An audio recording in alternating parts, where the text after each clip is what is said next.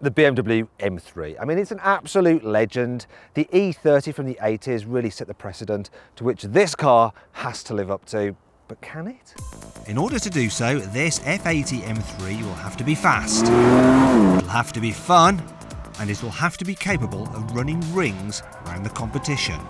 And speaking of competition, this particular car has the competition pack and it's a three grand extra and it includes 20 rather than 19 inch alloy wheels, retuned dampers, springs and anti-roll bars for more precise handling. You also have a more lenient traction control system for a bit more fun and a retuned rear differential for added traction when exiting corners, plus a sports exhaust for a more boombastic exhaust note. The normal M3 starts at £59,000, while the competition pack is £62,000. But does it feel worthy of this price tag? For all intents and purposes, this car feels pretty much identical to a normal 3 Series inside, which is no bad thing. That means the quality is good and everything's easy to use. Plus, you get a fabulous infotainment system. It's one of the best that you can get on the market. The only thing is though, there are some M trinkets in this car. So I've got M steering wheel, M dials, obviously got M gear lever. We've also got, on this particular car, some carbon fibre effect trim, which doesn't look tacky at all. It looks really good. And I like these wingback seats. They are super comfy. Red leather? Do you know what? On a normal 3 Series, I'd go, Bleh. but on this car, I think it's perfectly acceptable. What's also acceptable is rear passenger space. But is the boot big enough? Yes. Well, that's the sensible stuff dealt with. Let's crack on with something more fun.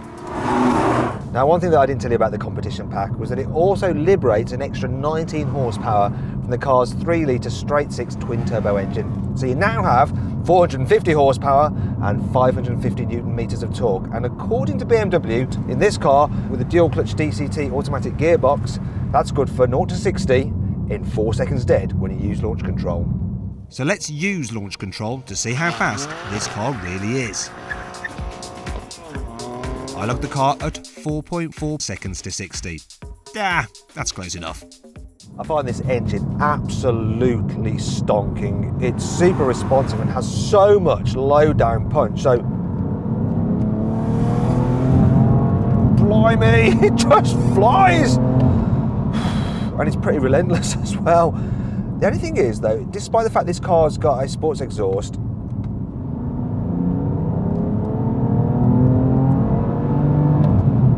exhaust note is it's just a noise that gets louder. It's not really that great. But there is more to this car than just straight line performance and exhaust noise. Now, one thing about the M3 is that it can't half handle well, it really does. If there is one problem, it's that the steering doesn't have all that much feel, but the actual grip at the front end is really strong, and at the back end, though, it's still quite easy to, well, to lose traction if you put your foot down in a turn. Yes, huge tail slides are possible when you turn all the driver's aids off. However, if you want to just drive around like a normal person, you can. Now with this M3, I can alter lots of different settings independently. So I can change the throttle response between three modes, the suspension between Sport Plus, which is too firm for on the road, but all right on the track, Sport, which is too firm for on the road and not firm enough for on the track, or Comfort, which is not firm enough on the track and still a little bit too firm to tell you the truth, but just about okay, I guess. I can also change the weight of the steering. I'm going to go for Sport. Doesn't really make much difference. I could change the ferocity of the shifts of the automatic gearbox between three stages, and I'm going to go full on ferocious because I want this car to excite me. And then it does even more so. So the M3 is a car you can set up just as you like it. That makes it easier to live with every day than you might think. Now I've actually spent quite a bit of time with this car and it is a great all-rounder, it really is. But there is one thing above all else that just gets on my nerves about it. I don't know if you've noticed it yourself yet, but I mean, can you hear that? That constant roar from the tyres, it's just, it's way too loud. Really though, this is the only major criticism, and you can forgive the M3 of this one failing when you consider all the things that it does do well. So then, this M3 is a fantastic all-round performance car. It can do it all a bit like the E30 M3. The only thing is, is that the E30 M3 was the best car at its time. Unfortunately, this isn't, not quite. It's just edged out by the new Alfa Giulia Quadrifoglio.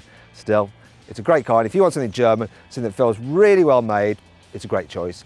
Now, if you want more of our video content, just click on the video windows around here. You can see my review of the Alfa Giulia Quadrifoglio and a group test between this car and the Alfa and the Mercedes C63 AMG. Also click on our logo to subscribe.